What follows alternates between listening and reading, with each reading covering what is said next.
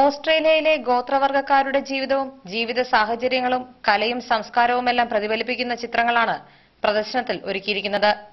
Australian federal ഗവൺമെന്റിന്റെ പ്രോഗ്രാമായ hearing health പ്രോഗ്രാമിന്റെ ഓഡിയോളജിസ്റ്റായി പ്രവർത്തിക്കുന്ന സലിമോൻ ജോസഫാണ് ഇത്തരമൊരു പെയിന്റിംഗ് പ്രദർശനം എന്ന ആശയവുമായി മുന്നോട്ട് വന്നിരിക്കുന്നത്. ഓസ്ട്രേലിയൻ ഭൂഖണ്ഡത്തിലെ ആദ്യത്തെ താമസക്കാരായ ജനങ്ങൾ അവരുടെ നാൽപ്പതിനായിരം വർഷം പഴക്കമുള്ള ഭാഷയും സംസ്കാരങ്ങളും അക്ഷര നഗരവാസികൾക്ക് പകർന്നു നൽകുകയാണ് ഇതിലൂടെ ലക്ഷ്യമിടുന്നത്.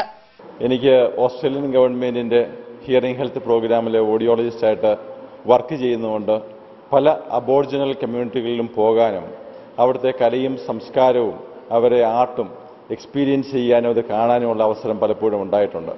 അപ്പോൾ ഇങ്ങനെ നല്ല കലകൾ നല്ല ആർട്ട് പെയിന്റിങ്ങുകൾ കളക്ട് ചെയ്യുകയും കളക്ട് ചെയ്ത് നാട്ടിലെത്തിയപ്പോഴാണ് എനിക്ക് തോന്നിയത് ഇതിന്റെ ഒരു ചിത്ര പ്രദർശനം കോട്ടയത്ത് എന്റെ നാട്ടുകാർക്ക് വേണ്ടി ഒന്ന് സംഘടിപ്പിക്കണമെന്നും അങ്ങനെ അവർക്ക് ഇത് കാണുവാനുള്ള ഒരു അവസരം ഉണ്ടാകണമെന്നും ഞാൻ ആഗ്രഹിച്ചു. അങ്ങനെയാണ് ഈ ചിത്രപ്രദർശനം സംഘടിപ്പിക്കാൻ ഇടയാകുന്നത്.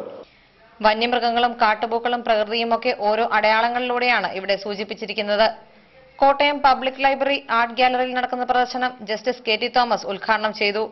രണ്ട് ദിവസങ്ങളിലായി നടക്കുന്ന പ്രദർശനത്തിൽ അറുപതോളം ചിത്രങ്ങളാണ് ക്രമീകരിച്ചിരിക്കുന്നത്. പ്രവേശനം സൗജന്യമാണ്. ACV News Kottayam.